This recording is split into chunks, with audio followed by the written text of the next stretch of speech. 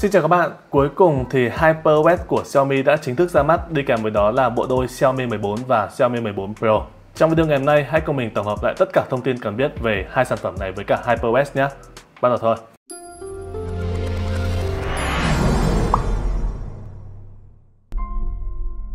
Rồi, vì là trong buổi giới thiệu về HyperOS thì toàn là tiếng Trung này cộng với cả kiến thức rất là sâu về Android. Vậy nên mình sẽ chỉ nói về một số điểm mình hiểu thôi các bạn nhé. Đầu tiên một điểm quan trọng này, dung lượng của HyperOS rất là nhẹ luôn, chỉ khoảng 8,75 GB. Nếu mà so với cả iOS sẽ là khoảng 11,3 GB này và nhẹ hơn so với cả những hãng khác rất là nhiều đúng không?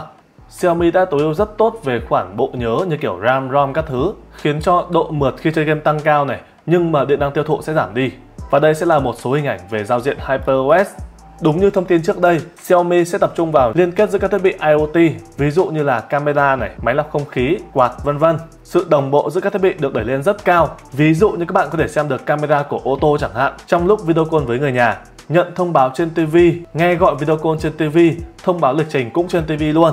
Mở một ứng dụng trên nhiều thiết bị khác nhau. Cái này thì nó sẽ khá giống so với cả Huawei các bạn nhé kiểu như là đang chơi game trên một máy nhưng mà hết pin máy này ấy, thì chuyển sang máy khác chơi tiếp không vấn đề gì cả chúng ta sẽ có một cái công nghệ AI mới là HyperMind của Xiaomi điều khiển các thiết bị IoT tự động. Ví dụ như khi các bạn nghe điện thoại đi thì loa của máy tính tự động sẽ giảm xuống nha, rất thông minh. Và khi mà tắt điện thoại thì loa TV lại tăng trở lại. Hoặc là khi các bạn về đến nhà thì đèn nhà sẽ tự động sáng. Đó. Và đây các bạn sẽ thấy animation của HyperOS thực sự rất mượt nha. Có thể nói là một tầm cao mới luôn. Và rất vui, chúng ta sẽ có sẵn tiếng Việt. Đó. Nhưng mà không biết là có bị chậm thông báo hay không. Khi có máy bọn mình sẽ test cho các bạn nha. Rồi, Chuyển sang với chiếc Xiaomi 14, thiết kế của máy thì à, đã bị dò dỉ từ trước rồi.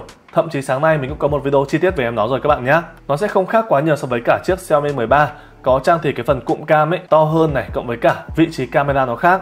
Mặt trước của máy chúng ta sẽ có kích thước màn hình giống so với cả Xiaomi 13 6,36 inch. Trọng lượng của máy là 193g, dày 8,2mm. Cái phần cầm phía dưới của máy sẽ chỉ dày là 1,71mm, chán phía trên với cả viền hai bên sẽ chỉ là 1,61 nha tức là nó sẽ mỏng hơn một chút so với cả chiếc Xiaomi 13. Tuy nhiên khi mà nhìn thực tế thì mình thấy là không khác nhau quá nhiều so với cả chiếc Xiaomi 13. Nhưng mà rõ ràng rồi khi mà so với cả iPhone thì à, viền của chiếc Xiaomi 14 nó sẽ mỏng hơn.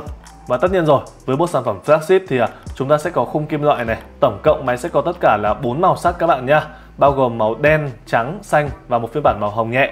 Ở phía mặt trước, chúng ta cũng sẽ có hai loa stereo này. Và chi tiết hơn về thông số màn hình đi. Nếu mà so với cả chiếc Xiaomi 13 ấy, thì độ phân giải của Xiaomi 14 đã được tăng lên các bạn nhé. Lên tới là 1,5K này. Màn hình độ sáng cũng cao hơn rất nhiều, lên tới là 3000 nits. Và đây sẽ là màn hình LTPO, sử dụng tấm nền C8 của TCL.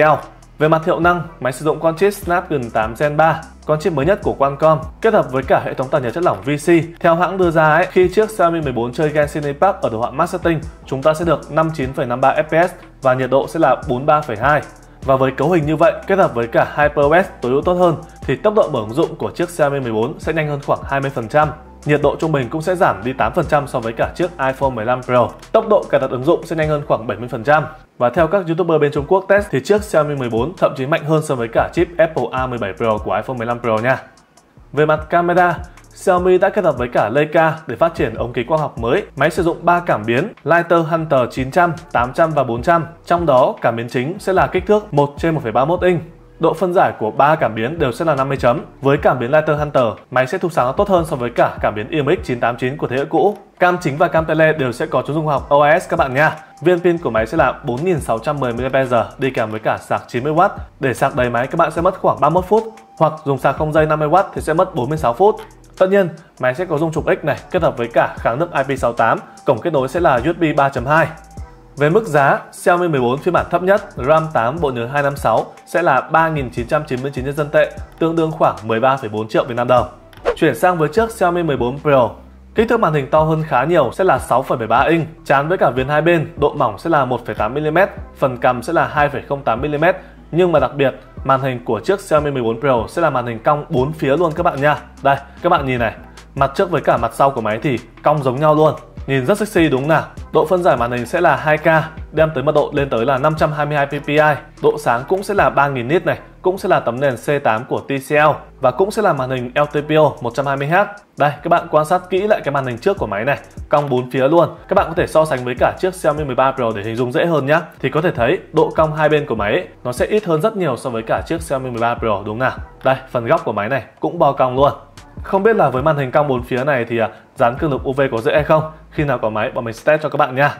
Về mặt hiệu năng, máy cũng sẽ dùng con chip Snapdragon 8 Gen 3 này, cũng có tản nhiệt VC chất lỏng và cũng kết hợp với cả HyperOS thì à, đó, hiệu năng sẽ không khác nhiều so với cả chiếc Xiaomi 14. Camera của máy cũng dùng chung ba cảm biến so với cả chiếc Xiaomi 14 luôn các bạn nhé. Có chăng sự khác biệt đó là phần khẩu độ. Trên chiếc Xiaomi 14 Pro thì khẩu độ sẽ mở rộng hơn rất là nhiều, lên tới là f trên 1.42. Và với công nghệ của Xiaomi thì à, chiếc Xiaomi 14 Pro có thể tùy chỉnh khẩu độ lên tới 1024 mức. Về pin với sạc, Máy sẽ có dung lượng là 4880 mAh đi kèm với cả sạc nhanh 120W.